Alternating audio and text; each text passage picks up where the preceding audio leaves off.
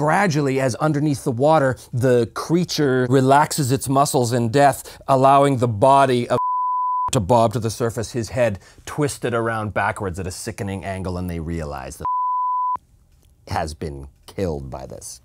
Well, that was an eventful and very productive first roll.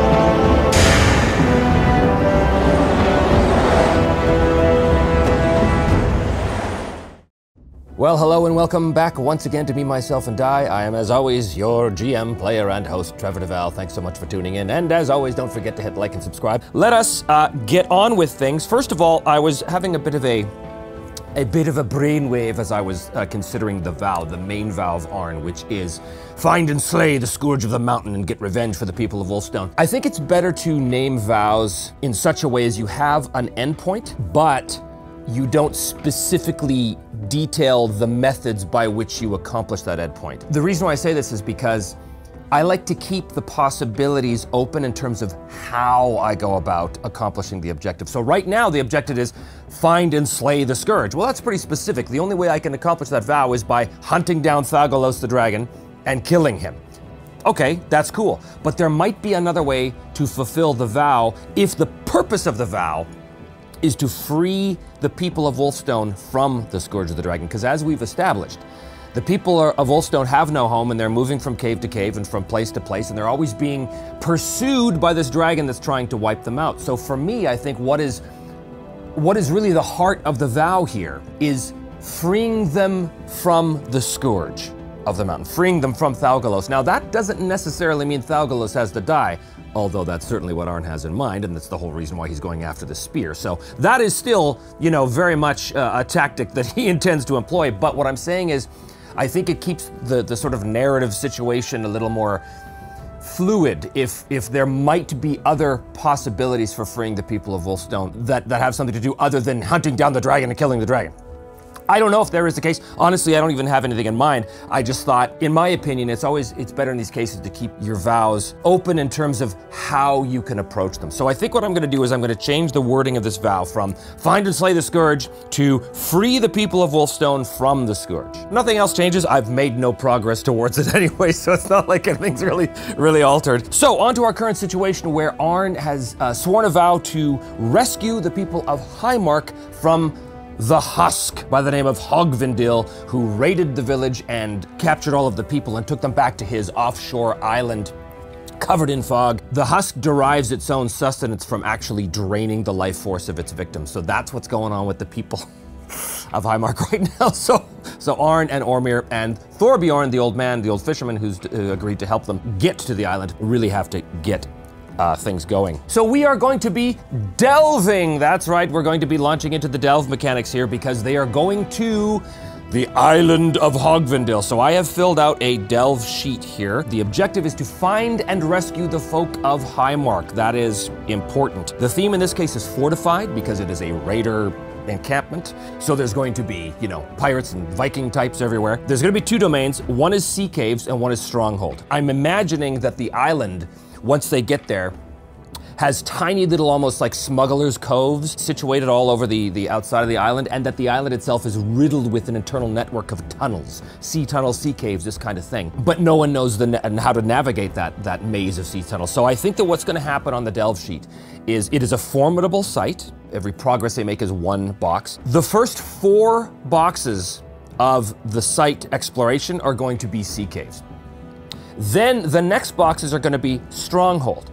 And the idea there is I want them to, to have to navigate these sea tunnels and explore what's there until they find like a set of natural stone steps that leads up into the underbelly of the stronghold itself, at which point we switch the domains. Now, that might change based on the rolls I make, but but that's kind of my that's kind of my setup right now. So again, it's not you know bog standard delve rules, but it's sort of uh, making the rules my own. Arn and Ormir have been taken on a couple of boats by Thorbjorn. I say a couple of boats because Thorbjorn knows that there's a number of his people, like a large number of his people, that were captured.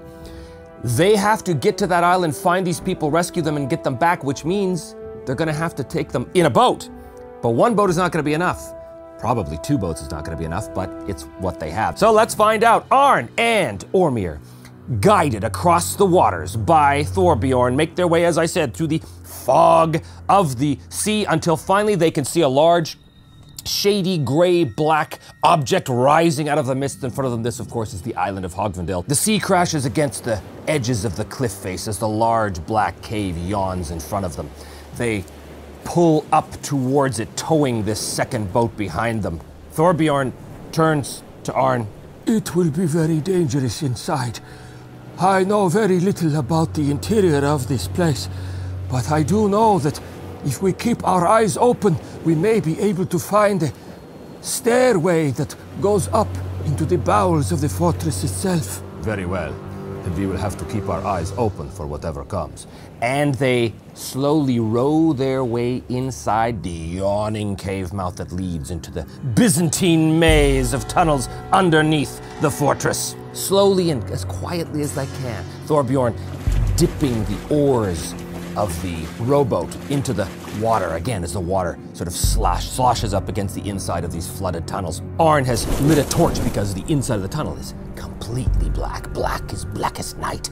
Shadows play off of the, the dark, rocky tunnel walls and, and flicker off of the, the, the waters ahead of them. What is the first area they come from as they slowly begin to navigate their, their way through these maze of tunnels? Features 21 is going to be on the Sea of Cave, watery tunnels. So this first area here, Perhaps it was designed to be like this, we're not exactly sure, but there are a number of branching tunnels. Each one could lead anywhere. They're not entirely sure. They're going to have to explore them to find out. They're slowly making their way. They're trying to stop and listen, and maybe they hear something from another tunnel. Maybe they hear voices, something like that. They have to make sure that there's no large rock protrusions from the water that might scrape against the side of the boat, causing damage to it.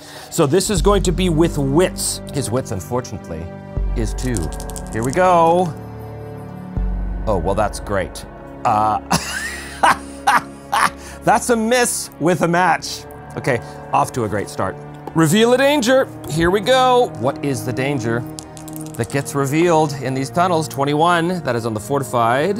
Unexpected alliance revealed. I think what that means is, is that there is some sort of sea beast that lives in these waters that some of the raiders, or maybe Hogvendil himself, has enslaved to its will. We have a miss on this with a match, which means that um, there's a major plot twist. Someone or something goes missing. Oh, okay, I know. So Thorbjorn is is at the back. Ormir is keeping the torch uh, lit here, but Arn is looking ahead. He's got his bow drawn. The sound of the boat sort of cutting its way through the water, the water of the tunnels lapping its way up against the sides of the boat when all of a sudden there was a splash and a cry as Thorbjorn suddenly, as though grabbed by something, goes careening over the side into the water. Arn makes his way to the back of the boat. Thorbjorn! Thorbjorn! He's looking desperately. Ormir, bring that torch over here! Ormir comes over. They're at the back of the boat now. The, the, the boat is kind of like bobbing up and down on the water as it's been disturbed by something. As they look inside, there's no sign of Thorbjorn, but bursting out of the water. Beside them is this hideous eel like creature with tiny little clawed arms this thing is just going to represent its sort of head. Now, they failed on their delve with a miss. They rolled the match. Thorbjorn's already been taken. I think that this counts as them being completely ambushed. So, there's also the, the, the frantic splashing and cries of Thorbjorn as he's sort of being held underneath the water by some other appendage of the creature. Enter the fray. He is being ambushed. This is a roll of wits plus two. Does Arn succeed on this? Four? No, he does not, which means combat begins with you at a disadvantage, pay the price, and the foe has initiative. Well, I'm just gonna roll randomly to see what pay the price is. 17. Your action has an unintended effect. Your action of going over the side and looking for Thorbjorn has an unintended effect, and that unintended effect is as this thing bursts through the water, and Arn has already frantically called Ormir over with the, the, the torch, the entire boat lurches up as their weight causes it to kind of careen uh, too much to the, the aft of the, the boat, causing them to crash into each other and to try and not fall over the side of the boat. So this is a face danger with edge plus three. Here we go. Seven. Oh my god. it's another miss and a match. They've gone over to the side of the boat. The boat is moved up like this. The creature has flopped onto it, basically causing the boat to, to, to come up even more out of the water. And both of them go splashing out into the water. Now, because it was a match, something even worse happens. And I think what that something worse is has to do with Ormir. Ormir's head cracks against the side of the other boat and knocks him out into the water. He is unconscious in the water.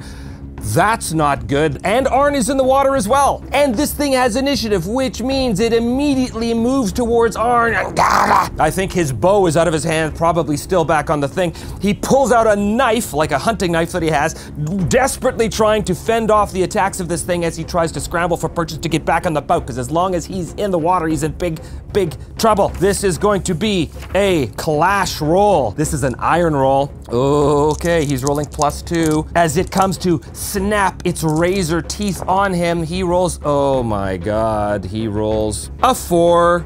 He's outmatched and must pay the price. The foe still has initiative. Well, it clamps down, I think, maybe on his midsection or maybe his leg, inflicts three harm, which brings Arn down to one because his max health is only four. He's got to endure harm. Iron plus two uh, weak hit, so he presses on. It still has the initiative. I think it's going to try and drag him under. He is going to face danger by grabbing the boat and trying to haul himself up. This is also going to be iron, which is no good for him, but he's got to try. Okay, a weak hit. So he does succeed in being prevented from being pulled under the water. This is definitely he's going to suffer minus one momentum for this. He's face danger, but the thing still has the initiative, so it is snapping at him, trying to pull him down, and it's going to try and bite at him again. This is another clash, unless Arn decides at this moment to turn the tide. Mmm, turn the tide. He is honor bound, which means that when he does turn the tide, he can make the move with plus two and take a plus one momentum. I think he's got to. I think he once per fight, he risks it all. And how does he risk it all? He, he knows his vow to these people is foremost on his mind. He has got to save Ormir. He's got to save Thorbjorn. He's got to save his people. He tries to turn the tide, which means he seizes the initiative from his opponent and makes a move. What is the move? He's still in the water. He's got to get back on that boat and grab his bow, because that is the most effective weapon he has against this thing right now. That is going to be, this is an edge face danger. Boom! And he is honor bound, so he's going to roll this with plus two and take plus one momentum on a hit as well. Face danger with edge, which is plus three, and he's rolling a plus two, which is seven, which is a strong hit. He gains momentum because of his honor bound, so he goes back up to 10. Strong at face danger, uh, uh, uh, you're successful, take plus one momentum. He can't be over 10, so his momentum's a 10. He has succeeded in hauling himself up. He's stolen the initiative. He grabs the bow, turns, because he has the initiative, and fires a barrage of arrows. He takes extra shots, so he's going to suffer one supply so as he fires arrow after arrow into this thing. His supply now goes down to three. Here we go, plus three, which is a seven. He gets a strong hit which means he does three harm because of his archer talent. It's plus two harm. He just did five harm to this thing. So arrows go sailing into this thing. Greenish blood bursts forth into the water as the arrows penetrate its scaly flesh. He retains the initiative at a strong hit. He's got to get in there, and he's got to save his buddies who are currently drowning by this thing. He's got to fire again, which means he is going to do a regular strike, which is edge. Come on, buddy. Okay, but it's plus edge, which is three, which is five, which is a strong hit. Three more harm. One, two, three, which means the thing is now at eight out of ten boxes. He is going to do the move to end the fight. This is a progress move. He's rolling against eight. If he makes this, the thing is dead. Oh, well, it's a weak hit, so he does kill it. However, there is a uh, there's there's a problem to this. An existing danger worsens, or something of value is lost. Someone important must pay the cost. Guys, there is only one explanation to this. Someone important must pay the cost.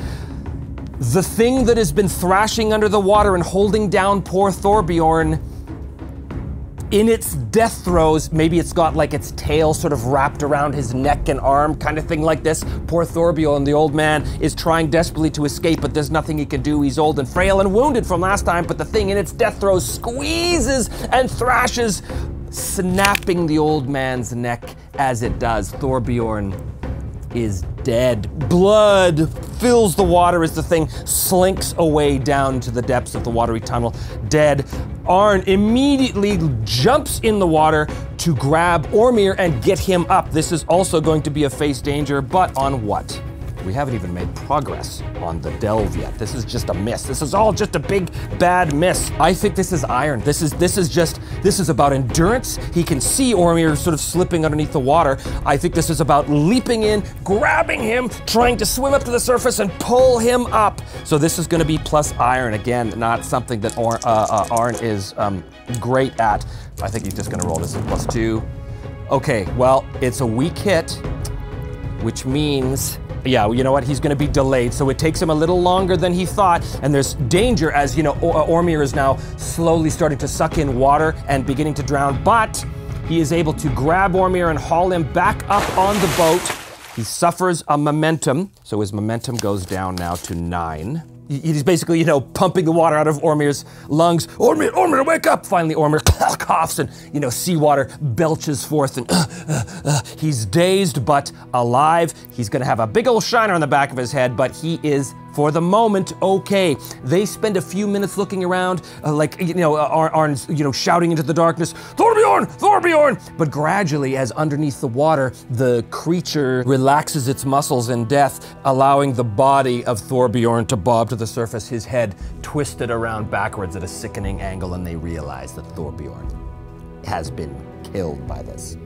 Well, that was an eventful and very productive first roll. Arn is wounded. He's really hurt bad, and I think he's bleeding openly from this wound. I think he has to do a heal. He's rolling on his wits, which is plus two. This is to heal himself, but he does have Ormir's help on this. Uh, seven is a failure. No, I'm burning momentum. I'm going from nine back down to two because I can't afford to fail anymore. That's what momentum is for. So that turns that into a strong hit. So he goes back up to health plus three. So he's able to bind that wound, but only by spending his momentum as I said, which resets now at two. Now, it's uh, time to go on. They don't have time to do anything about Thorbjorn's body. They have to try and pull their way using these two little boats, uh, boats through the tunnels as best they can, which means doing yet another delve the depths roll. They're now concerned that there was some alliance with the Vikings and uh, these creatures, which leads on to believe that there might be more. So therefore, he's going to go a little more carefully, a little more quietly. That could cost them some time, but he has to be careful. They can't afford an attack like that again. So he is going to roll with stealth as they slowly, slowly, carefully, quietly move through these tunnels, keeping an eye out for the best way to go. Which means they roll plus shadow, which is plus three. Delve the depths, plus three. Seven on a match and a strong hit. On a strong hit, you mark progress and find an opportunity, and we have a match. So something beneficial happens as well. Let's see what this opportunity is going to be. The opportunity is 33. An aspect of the history or nature of this place is revealed. You know what? I'm just going to take the momentum at this point. They mark progress, so they come to a new area for one thing. I guess we need to find out what that area is first. Yeah, let's find out what that area first. Uh, it is 19. Oh, a command center or leadership. A command center. Oh, oh, I know what they find. A command center in the sea.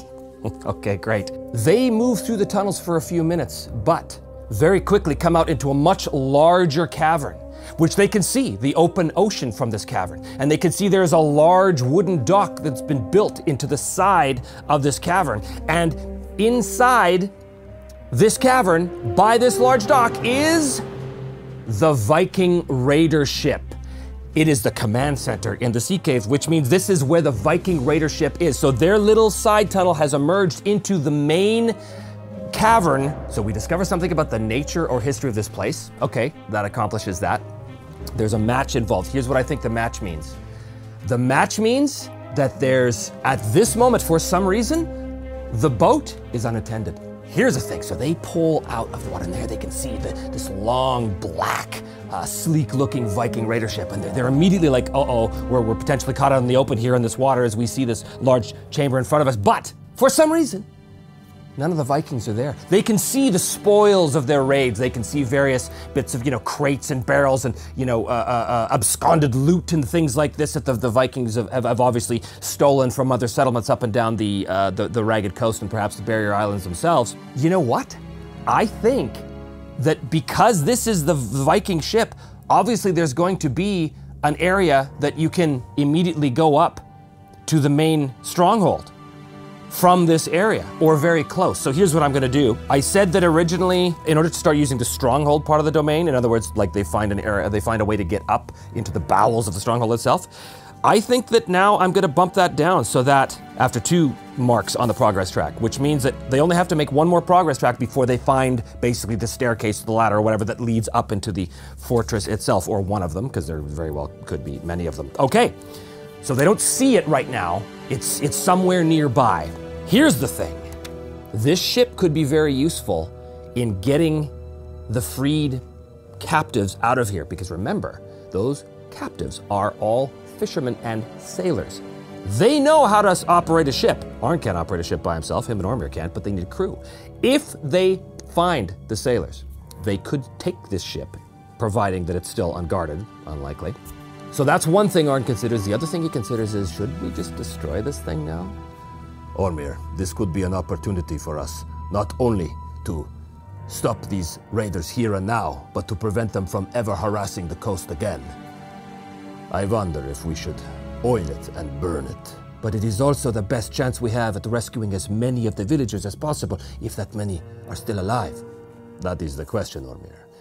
I confess I am unsure of how to proceed at the moment. I think, though, that Arn is going to play it safe and not destroy the ship because I think He's going to keep that in the back of his mind that the ship is here, and if they have to grab the ship and get out, that it is an exit point. Okay, all right, great. I think they put the boats aside because I think that now what they see is a number of small tunnels going off into the darkness.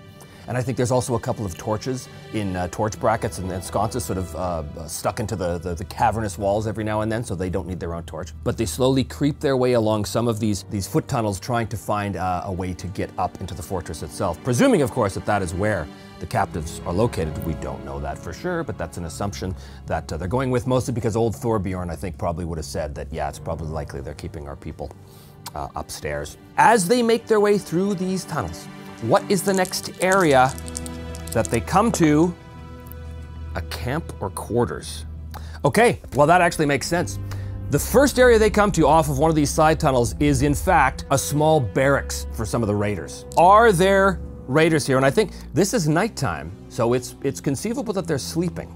You know, if there are a number of raiders here in this barracks, in this sleeping quarters, uh, it's almost certain 11 or more. Uh, oh, there are no raiders okay, well, our luck changes a bit. It is a barracks, but there are no raiders here, which again leads me to believe that the reason why there are no raiders here at night when perhaps they should be is because everybody is upstairs partaking in this husk ceremony of draining the captives of their life essence, probably because they're not here. Why weren't they here? So they are going to roll delve with haste to get through here and see what happens. This is rolling at plus three which is eight, another strong hit. On a strong hit, you delve deep for mark progress and find an opportunity. So we mark progress. On, oh, you know what, as well? Having the two fishing boats and having preserved them from the battle with this eel creature, and also finding the boat, which is unmanned, I think that's gonna count as a milestone on his vow. He's rolled a strong hit, which means he marks prog progress and he finds an opportunity. The opportunity in this barracks is going to be 67, which is a clue offers insight or direction. And I think he's going to take the momentum as well. Now, there's no guards here.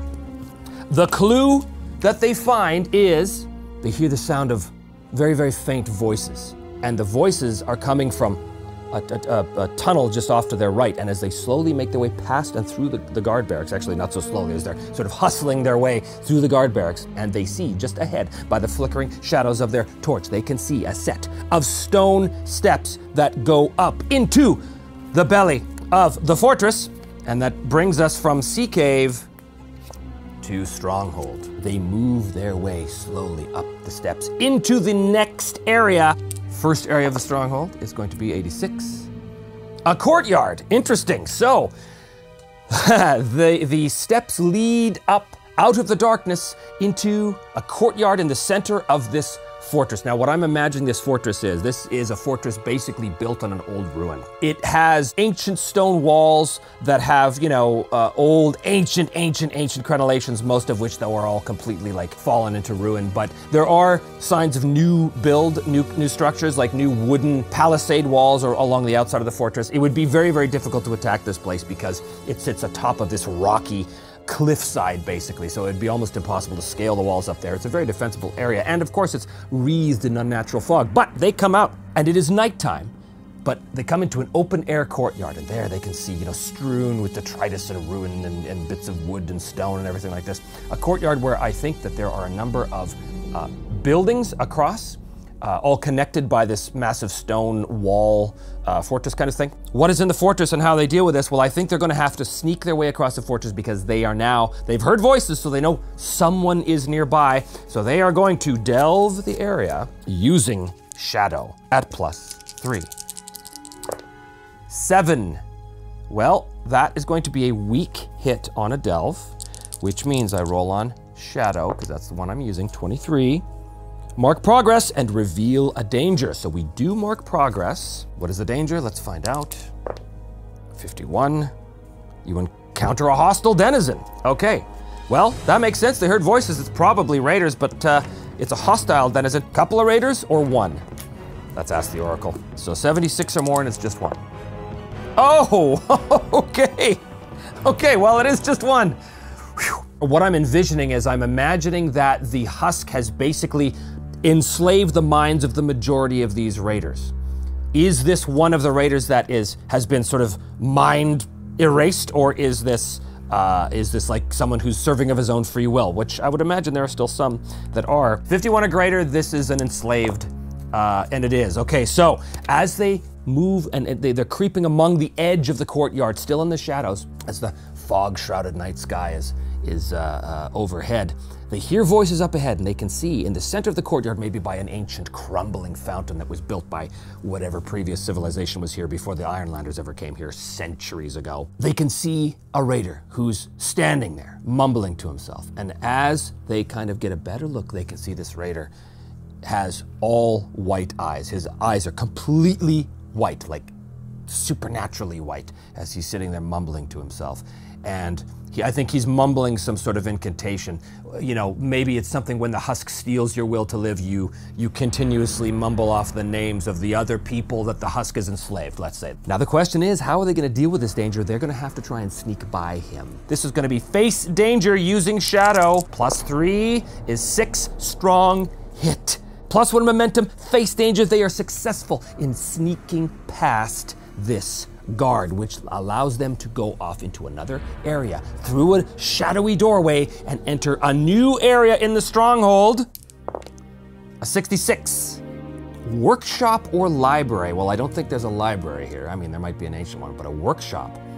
A workshop in this Raiders stronghold what would they be building? Well, the obvious thing is they'd be, you know, they'd, they'd have like a blacksmith because they'd need, you know, they'd need to forge their weapons, they'd need to forge supplies to repair the ship and all that kind of stuff. But is there a chance that this workshop is in fact more dedicated to the husk? Maybe this is the place where the husk Hog- himself uses to extract the life force from the people. I, I doubt that's the case. So 01 to 90, it's going to be a regular workshop. 91 or greater, it's not.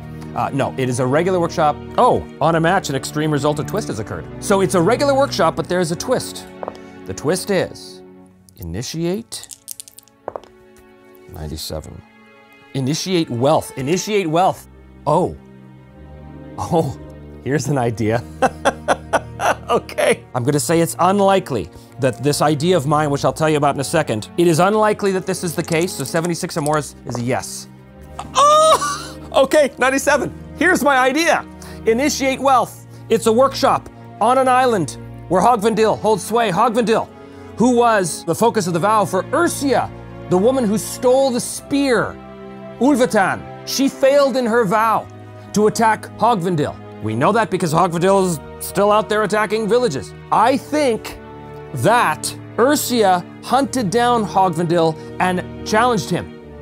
She failed, and she was perhaps killed, perhaps enslaved herself. I like that idea. Hogvendil was wounded by the spear. He was wounded by the spear, much as Thalgalos was. And Seizing the spear for himself, he realized that he could forge this weapon, perhaps, into a variety of other weapons. So maybe, yeah, yeah, that was it. He's trying to melt down the spear. Yeah, that's good. He's trying to melt down Ulvatan to use its, you know, sort of storied and magical metals to create other weapons. I guess the question is, has he succeeded in melting down the spear? I think no. I think absolutely not. He's he's he's definitely not succeeded in melting down the spear, but it does mean that some aspect of the spear is here in this workshop. 91 or greater. He's melted down the spear. No, he's not, which means that the spear itself is here. We have to do the delve roll now. As he goes into the workshop, I think again they're using shadow. They're being very, very cautious. Plus three is nine. Okay, well, that is a weak hit. a weak hit on Shadow means we roll percentiles. 81 on Shadow. Choose one, mark progress or find an opportunity. I'm gonna find an opportunity, which means the opportunity is 66. A clue offers insider direction.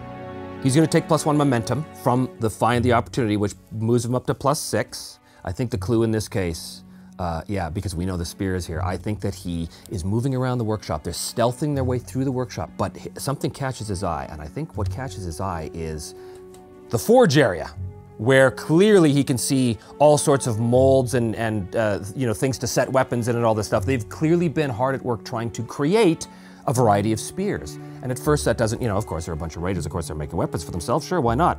But what he sees is that the master mold, the, the thing that they've built all of these other spears on, is still there. And as he looks, he can see that that mold is filled. There is a weapon in it. And as he goes up to it, they see the spearhead. And he looks at it and he can see that there's runes carved along it. And right away, he knows what that is.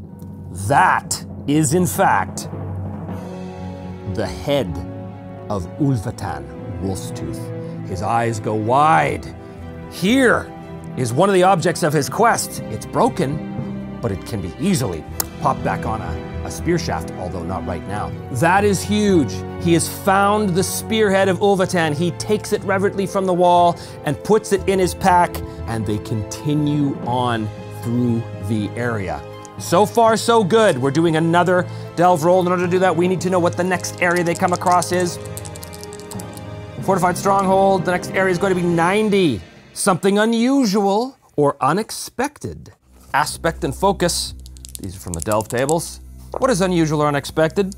It is going to be toxic supply. Toxic supply. Okay, so so uh, this is interesting. I think maybe what they come across is, is a storeroom, and as they move their way across this area, there's a smell, and it's a smell of sort of rot you know, there's sort of an acrid kind of uh, acidic kind of smell. Yeah, I think that it's going to be um, poisoned foodstuffs, but there's a reason for that. Anyway, let, let's see what the delve is here. Let's delve the depths and see what's going on with this area. Plus three is nine, is a strong hit. Delve deeper, mark progress, and find an opportunity. We mark progress on the formidable site, which brings us up to four boxes, and we find an opportunity. I think it's like barrels of a type of poison that the, the raiders sneak into certain uh, encampments and uh, maybe posing as traders or something. And they use this this poison to basically like poison the water supply so that they can wind up killing a bunch of people as well or making you know making them so sick that they can't defend themselves. That's kind of cool. They wind up poisoning their victims first before the raid if they can like when, when circumstances warrant. What is the opportunity?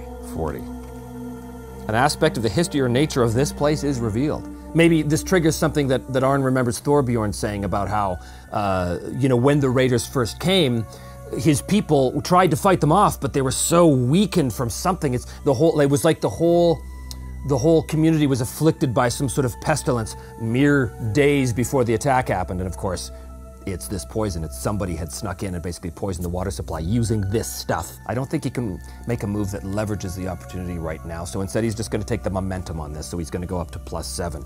So they leave the toxic supply area behind and they keep delving. What is the next area they get to? 25. Connecting passageways. They move deeper into the stronghold itself. They can see a number of ancient stone hallways, again lit by these torches stuck in uh, sconces every now and then. They're slowly padding across the ancient stone floors. They're going to delve once again using shadow because they know they can still hear voices from elsewhere through, you know, echoing down certain corridors and things through these connecting passageways in this ancient fortified stronghold. Shadow plus three is going to be eight. Another strong hit. Mark progress and find another opportunity. What is the opportunity? I'm going to roll and see that it is 55. You locate a secure area. Well, I think the secure area that they find is basically in these connecting passageways, they see that there's a, a, stout iron banded wooden door. And as they kind of open it up, they can see that it's a it's basically a strong room and it's sort of off from the main passageways as well. But uh, there's really not much in there now, except that they know that if they had to spend time in this room, they look on the inside of the door, and there's a big intact iron bar they could put on that door to prevent anybody else from getting in. So it is a secure location because it's tucked away, and you know if they needed to go and rest or anything like that, they could probably do it in the secure area. They can't leverage this opportunity for anything they need to do right now, so uh, they're going to, he's going to bump up his momentum to eight again for finding the opportunity, and they're going to continue on. What is the next feature they go to as they're slowly making way through these maze of connected passageways inside is going to be zero nine. They find a storage or repository. We are rolling once again with Shadow, being very careful, and we're rolling with plus three. It's going to be an eight. Well, that is a fail. That is a fail as they come across this storage or repository, which means that we do not mark progress and we reveal a danger. We roll 0 1, check the theme card, which is Danger. Denizen patrols the area. What is the denizen? 64 is Raider. It might be a place where they just throw the bodies of those who have been drained by the husk Oh, that's kind of grim. That's kind of brutal, actually, yeah. So they come across this chamber inside the stronghold. It's got several doors, several exits, but the first thing they notice is the smell, because in the center of the chamber, there is a giant uh, I think maybe it's it's open. It's it's the, the roof is destroyed, the ceiling is destroyed, so it's open to the to the night sky. And there's this horrible smell of decay and, and rot and rotting flesh and things like this. As they move into the chamber, they can see where there's a you know several piles of bodies, and it's clear to them that these are bodies of you know some of them are in various states of decay, some of them are skeletons, all this kind of stuff. But some of them are fresh. And I think what they see is they see a couple of raiders moving in from another entrance, carrying together, carrying the body of some villager, freshly dead. And they take the body and they throw the body on the top of the pile where it kind of thumps onto the body. Its head turns, and as the dead eyes face Arn, he can see that it has been totally drained of life. Like the, the face looks completely emaciated, almost almost mummified. Like the life essence has been completely pulled out of this villager. Very likely this is a villager from Highmark. But as they lay eyes on this room filled with corpses, those raiders that have just thrown the body on look at them and they see them and they pull their weapons and they rush to the attack, taking our guys completely off guard because it was a miss. So when they enter the fray, these, these raiders are immediately going to have the initiative on Arn and Ormir. That's going to go very badly, I think, to open this fight. But we're going to have to wait until next time to see what that fight looks like because that is the end of our episode. Thank you so much for joining me and come back next time to see what happens with the exploration of the rest of the fortified stronghold of Hogvendil here on me, myself, and die.